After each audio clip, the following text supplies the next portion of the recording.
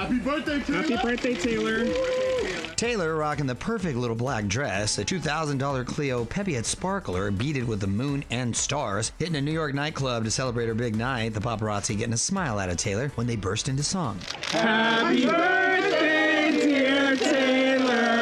She was twinning with good friend Blake Lively, who wore a mid length black leather dress and thigh high boots. Also there, Miles Teller and his wife Keleigh, who posted this group toast photo. Happy birthday, Hey, Queen. Miles.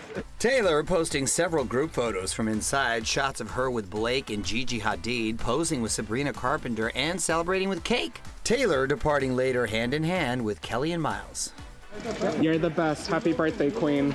Missing from the celebration was Taylor's boyfriend Travis Kelce, who had a mandatory football practice in Kansas City. She did, however, spend the weekend with him, the two posing cheek to cheek at a post game party on Sunday. When I try and do like something really special for somebody, that's when I get nervous. No word on what Travis got her for a present, but in September, after a few months of dating, Travis shared with Kristin Cavallari on her podcast Let's Be Honest how his nerves set in when planning something special for a loved one. For like a birthday or like for like Valentine's Day, like those Yeah. days, like I'm nervous on those days. Like, oh, is she even gonna like this? Is I just got way too creative. This is lame. Also missing from Taylor's birthday night out was best friend Selena Gomez, who posted this photo of their time together last week, saying, Happy birthday to the goddess that is Taylor Swift. I'm a huge fan of hers. Taylor's friend Mariska Hargitay who also posted birthday wishes from her Siamese cat Karma, named after Taylor's hit song. Remember, Taylor's also a fan of Mariska's, naming one of her three cats, Olivia Benson, after Mariska's Law and Order SVU character. After things ended between us, we were so young.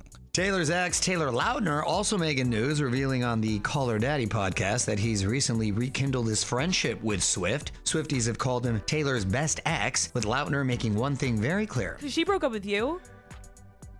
Yeah. Yeah. Oh. Yeah. Yeah. Okay. Okay. It was it yes. Absolutely.